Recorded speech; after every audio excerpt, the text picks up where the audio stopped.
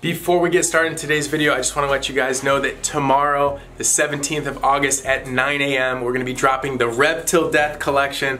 We've been putting so much time and effort into this collection, guys. A ton of new merchandise, t-shirts, hats, tank tops, accessories, all that kind of stuff. So if you're interested, set your alarms, 9 a.m. tomorrow, shop.throtl.com. The link's always in the description. Thanks, time for the video.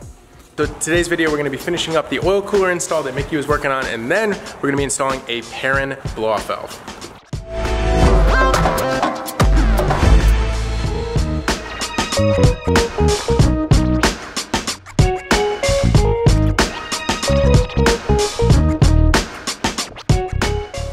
One little tip I always like to do is before I finish filling the oil up completely, put about a quarter two in and then I'm gonna wait a minute and look underneath the car and make sure there's nothing that's leaking.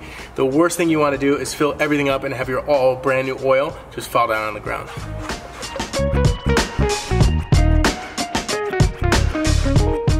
Mickey making sure that no one started this car without oil. We now have oil, so let's go through these instructions. A few moments later. What happened? It's not tightened down and it went and it's everywhere. Oh, doctor! And then you walked in it. Hey, at least you know the oil's clean. Doctor, doctor, doctor, doctor. Looks like the top fitting here wasn't completely tightened down, so not a problem. I went ahead and tightened that down, so let's go ahead and retry that startup procedure. The other thing I did is um, refilled the coolant here, and we're gonna be bleeding that as well before we get to the blow-off valve installation.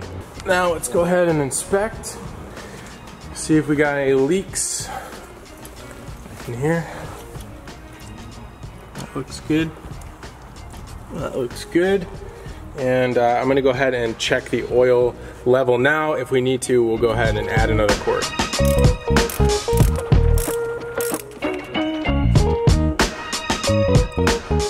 All right, so now let's go ahead and start the actual install for today, which is replacing the OEM WRX blow-off valve with a nice new Perrin one. So let me show you guys what that kit looks like.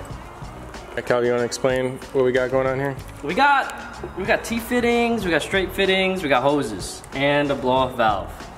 How it all goes together, I don't know. Well, good thing we have instructions. What are we? What are we? Not men? We don't need instructions. This. Yeah, so we're gonna be replacing these two here, pulling that vacuum hose off. Now I think we're gonna be taking that little elbow off of the stock unit, the little um, cast aluminum piece, oh. and I oh. think it attaches right to the bottom of this. Oh, so that'd be cool. Let me read the instructions and then we'll go ahead and we'll disassemble the OEM unit.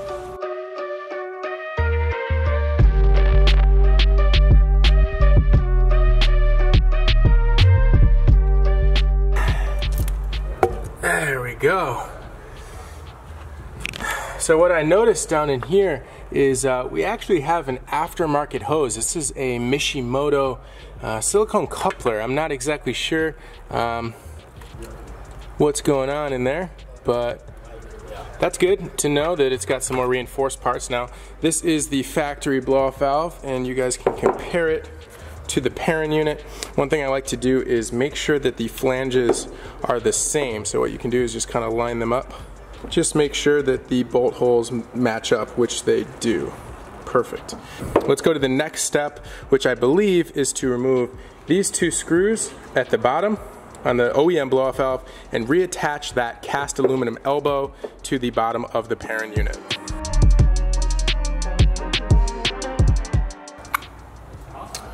Now one thing Perrin does mention in their instructions is to ensure that this O-ring is still in good condition and it's still present.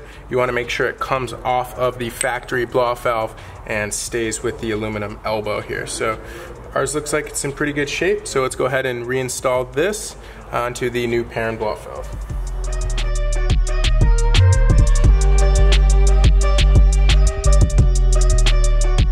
So upon putting the new blow-off valve onto the factory intercooler, I noticed that there's no gasket. Now, typically for blow-off valves, you wanna have some type of gasket between here and there. It's usually like either like cork or sometimes even just RTV.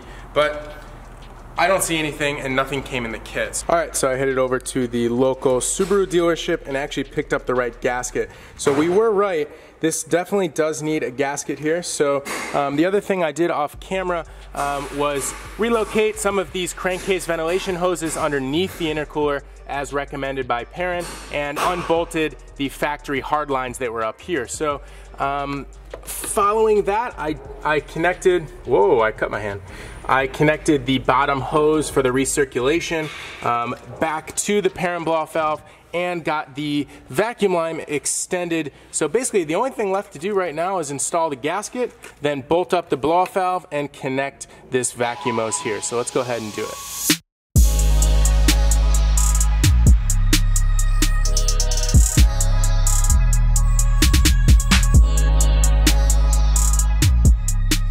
All right, guys, so I got everything back together and bolted down. Everything is nice and tight. We got zip ties on all the vacuum lines.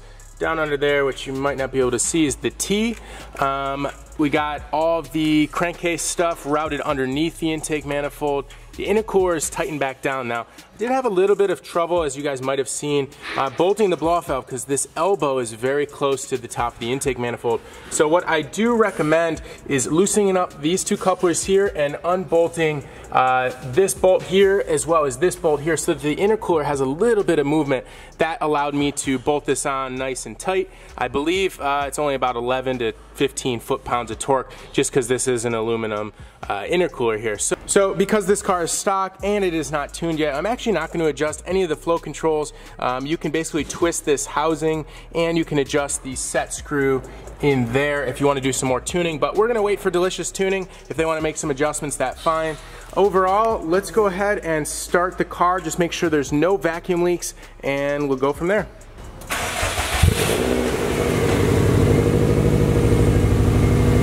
All right, so we got Dustin out here. He's gonna help us rev it. Let's see if this thing can uh, make some good noises. I'm not really too sure. Stock boost.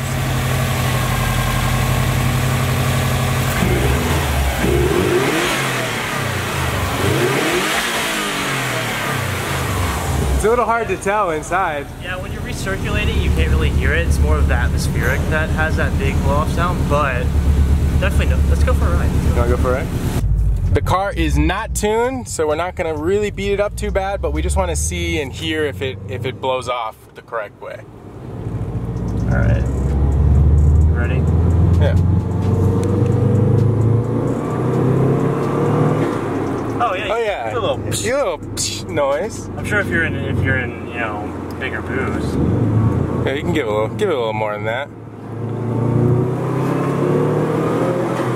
Oh yeah. Yeah, yeah. Ooh, it's gonna sound good. Yeah, that's good. So, yes, before you guys hose us in the comments, this car is getting tuned. It's getting tuned by Zach from Delicious Tuning. He's gonna be coming down, I think, early next week. We wanted to finish up all the mods before we had the car tuned. That way we didn't have to get it tuned multiple times. But don't hear any weird noises. Seems Mine's pretty fine. good. We're not overheating. Yeah, no Give- breakup. Yep. Oh yeah. That's cool. It's cool. I would say job is complete. As always, guys, if you like this video, give it a big thumbs up. Subscribe to our channel. We'll see you guys in the next one.